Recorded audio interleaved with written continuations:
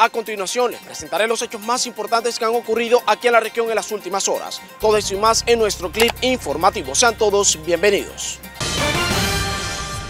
Este miércoles, el Juzgado Segundo Penal Municipal con funciones de control de garantías de Valledupar legalizó la captura de Óscar Enrique Martínez Oñate por el presunto asesinato con arma de fuego de Álvaro Ortega, conocido como Caballo, el pasado 24 de agosto en el barrio El Páramo de Valledupar.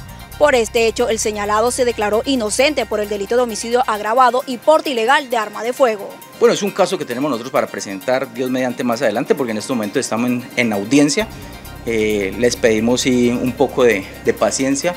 En cuanto a eso, se los vamos a presentar, se los vamos a mostrar de las actividades que viene realizando la Policía Nacional. A las 5 de la tarde de hoy, la Alcaldía de Valledupar entregará la obra de remodelación de la cancha del barrio 12 de octubre, un escenario para que los atletas cuenten con óptimas condiciones para las prácticas deportivas.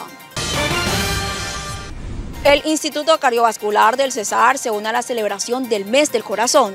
Un cardiólogo envía las recomendaciones para los cuidados cardiovasculares. La charla que vamos eh, a dictar tiene que ver con este mes, el mes de septiembre que hemos escogido para celebrar el mes del corazón. Debemos tomarnos regularmente la presión arterial cada 3 a 6 meses y estar pendiente de que esa presión arterial esté por debajo de 120 sobre 80, 120 sobre 80 es la presión ideal.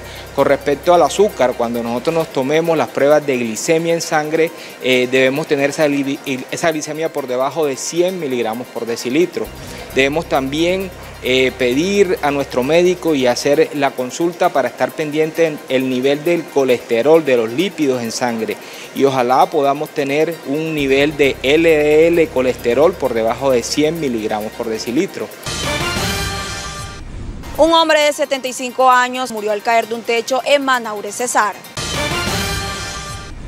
El centro comercial Mayales Plaza recibió un reconocimiento por parte de la Asociación de Centros Comerciales del país por su desempeño ambiental. Estamos haciendo entrega de la recertificación eh, con obtención del 96% de los criterios, lo que muestra no solo que el centro comercial ha mantenido sus programas, sino que ha avanzado y ha evolucionado mucho más en eh, todo este proceso con la conciencia y con la convicción de la necesidad de continuar trabajando en disminuir los impactos ambientales, en crear conciencia y en, por supuesto, desarrollar acciones que permitan el uso eficiente de los recursos. Y gracias al resultado obtenido, que fue un 96% de cumplimiento de todos los ítems evaluados, eh, se nos concedió nuevamente el sello ambiental en categoría más alta, la categoría oro.